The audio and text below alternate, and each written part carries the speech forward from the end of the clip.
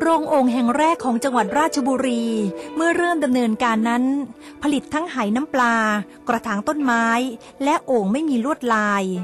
ต่อมาจึงเริ่มทำลวดลายต่างๆ บนโอ่งด้วยดินขาวจากประเทศจีน แต่ที่ขายดีที่สุดเป็นลายมังกรทำให้คนเรียกโอ่งราชบุรีจนติดปากว่า โอ่งมังกร โดยพัฒนาการของลายมังกรนี้มีหลายรุ่น และจะแสดงให้ชมในบริเวณโรงงานด้วย ปัจจุบันแม้ยังคงอนุรักษ์การผลิตโอ่งมังกรแบบดั้งเดิมอยู่ แต่ยุคสมัยที่ความจำเป็นในการใช้โอ่งมีน้อยลงทำให้ต้องปรับทิศทางการออกแบบและสีสัน